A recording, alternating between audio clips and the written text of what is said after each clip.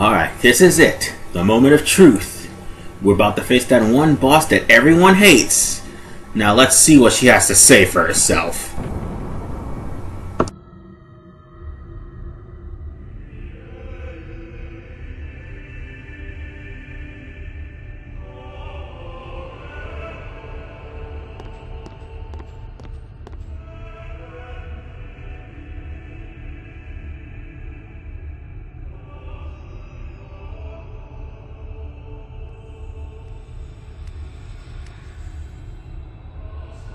Have you chosen the one to become your faith?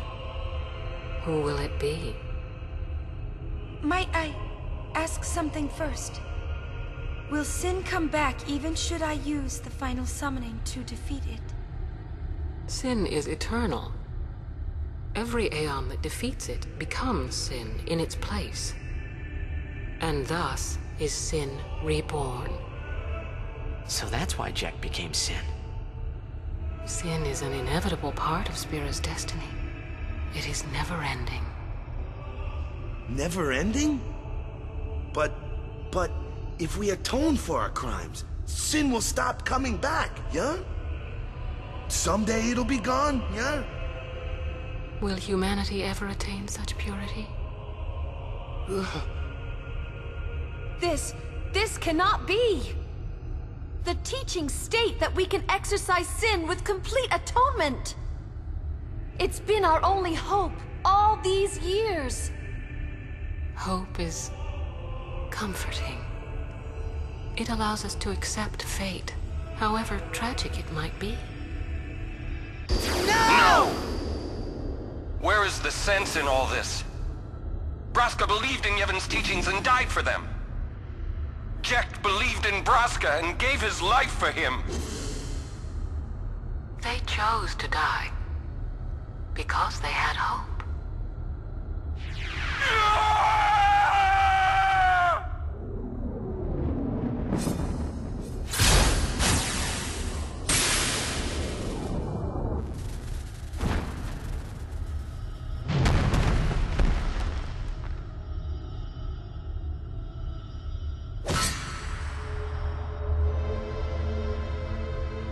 Yevon's teachings and the final summoning give the people of Spira hope. Without hope, they would drown in their sorrow. Now choose. Who will be your faith? Who will be the one to renew Spira's hope?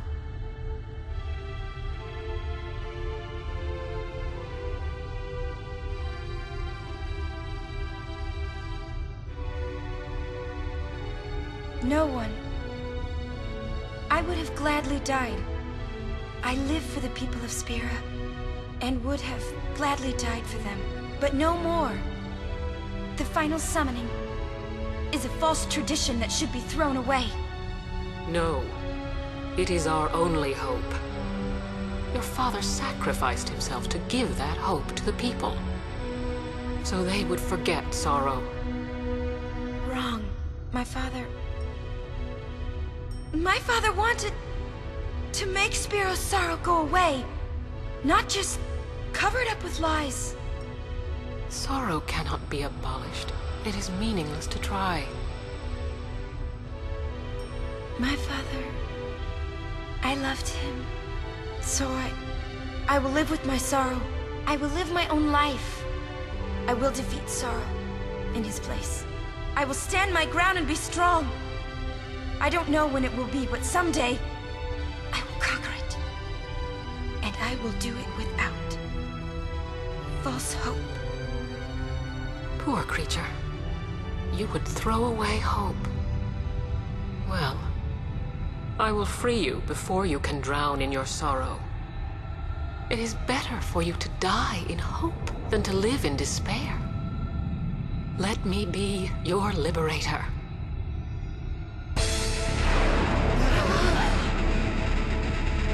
Now! This is it! Now is the time to choose. Die and be free of pain, or live and fight your sorrow. Now is the time to shape your stories. Your fate is in your hands. Yuna needs Kimahri. Kimahri protect Yuna. Well, I'm fighting. I can't believe we're gonna fight Lady Yunalesca. Give me a break. You can always run.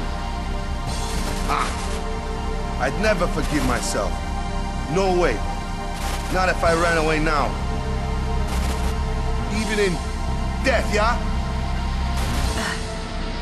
My thoughts exactly. Yuna! This is our story.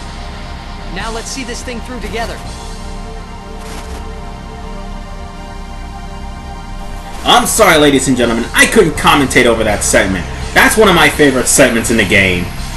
So, it's time for us to face possibly the most annoying boss in this game, Yunalesca. Yunalesca has three forms. The first form is 24,000, and every time you attack her with a physical, she blinds you. And when you attack her with a magic spell, she'll silence you. So technically speaking, you're going to be using Esuna a lot. And don't even worry about buffs, unless you're using Cheer. Because Cheer and Cheer Focus and Reflex can't be shattered by her attacks. But the buff spells will, so don't even bother. Anyway, the first form's not that tough. Although near the end, she will use Drain and drain 2,000 life from you. It would be best if your uh, party is at 3,000 or higher.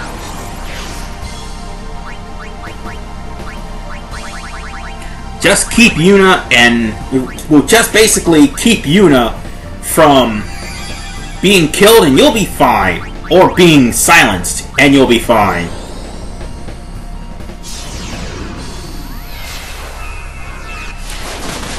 What the hell is that down there? Uh-oh. Not good. And now we've come to possibly the annoying part. it doesn't matter what you do, off the bat Yunalesca will use Hellbiter, which will do zombie to your party. And as you can see, I have zombie proof. Yes, all that grinding off screen will pay off. However, only one of my characters have death proof, and it's the important one, which is Yuna. And by this time, you should learn, oh please God, learn Auto Life. For the very least, you'll be able to bring back your fallen party members. And now would be a good time to cast it, because in her third form, she will immediately cast Mega Death. Well, she does it to me in this part anyway.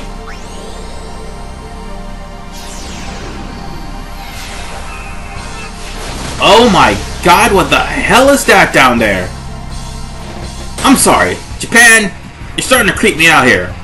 You got tentacles coming out of her ass. You got tentacles coming out of her hair. You got tentacles coming out of the ground. And God forbid what the hell is that underneath those tentacles? Well, I know what it is, but still, I'm making a point here.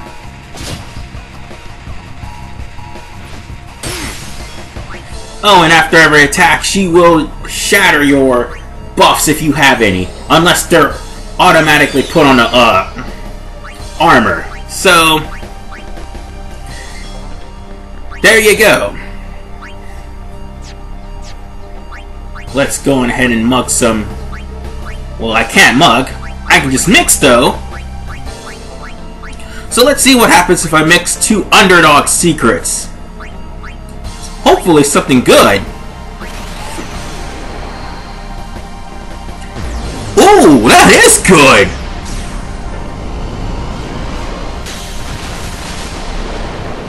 Wow, and we're already in her third form. We just did 20,000 damage to her almost. And now, for possibly the most annoying form of the game. Her Medusa head form. Dear God, I can't believe she's hiding underneath all of that, man. Oh shit! I forgot to put auto life on him. Uh, damn it. Oh, you might want to be careful because sometimes death proof doesn't work.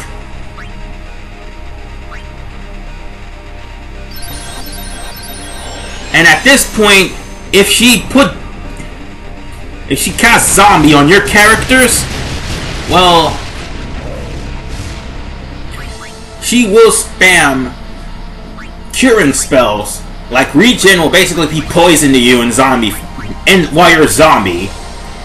And Curaja will be close to instant I mean, Curaga, sorry, will be close to instant death. And sometimes she'll even cast life. Which, by all means, suck.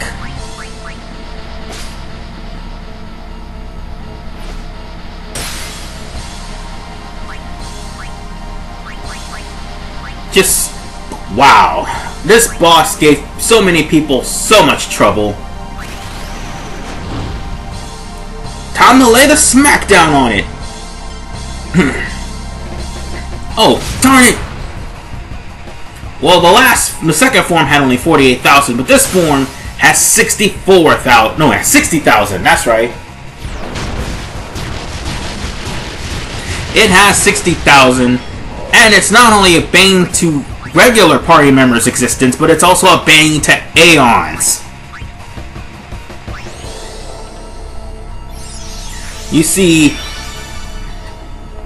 even the Aeons will be easily defeated. So, uh, well, within two or three turns. But in this form, she'll osmose them to keep them from using any curing spells. And since Aeons can't use items, well, she'll also do that too. Ugh. Thank God it only hit Yuna. Mind Blast, is a, as you can see, is a confusing move, and she'll also do that to the Aeons.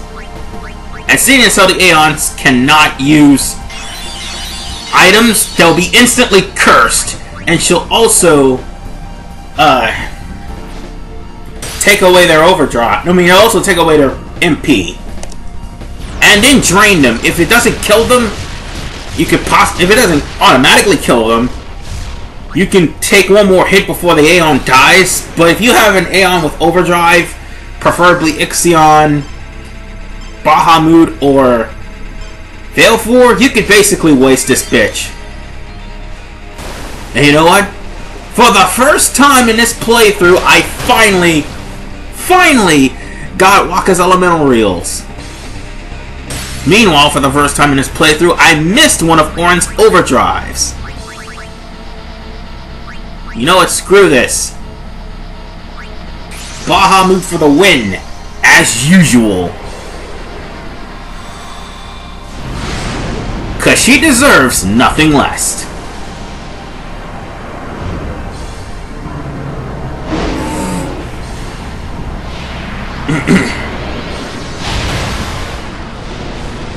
it's at this point also I recommend you use Aeons because like I said, the boss is real cheap at the end, and will wipe out your party if you don't have death proof.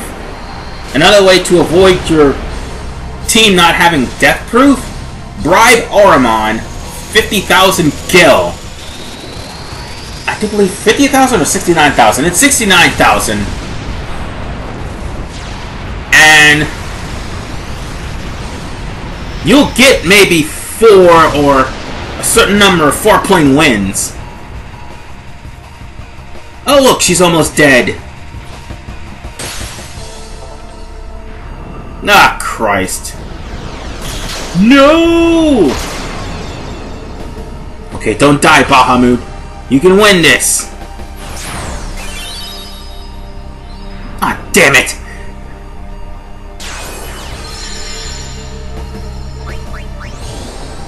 That's it. You die! And I hope this ends her. Yes! But the fact remains is, at this point, use every Aeon you possibly can to annihilate the third form.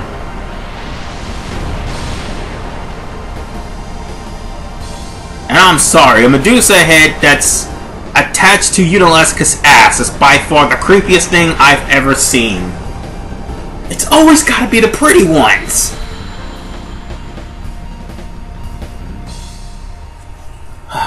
Damn it, Japan. Anyway, it's over. The most annoying boss in the game is done, and I only had two deaths out this whole entire fight. If I die, Great. so does the final Aeon. And with it... Screw your final Aeon! Then we'll find Spira a new hope.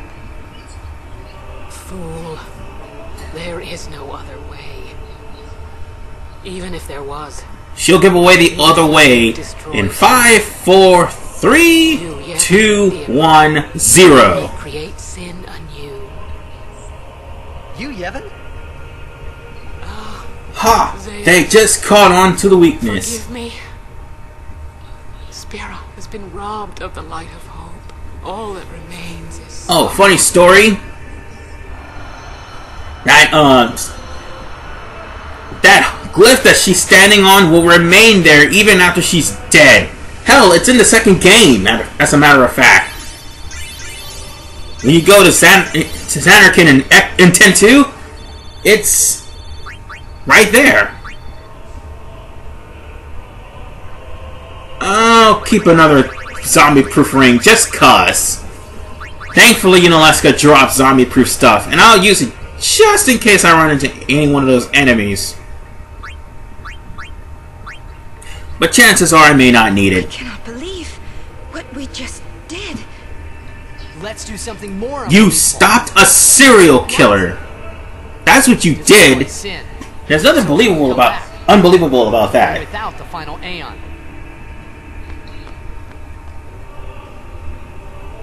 I don't know how. Pretty much. But I'll find out.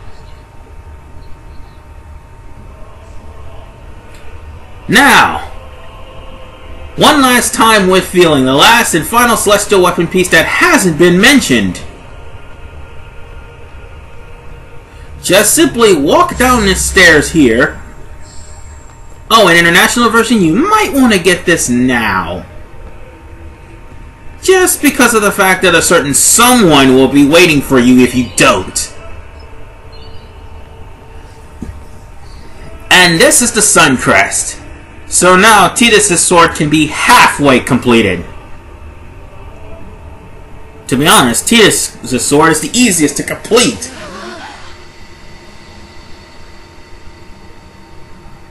Uh-oh. What's going on now?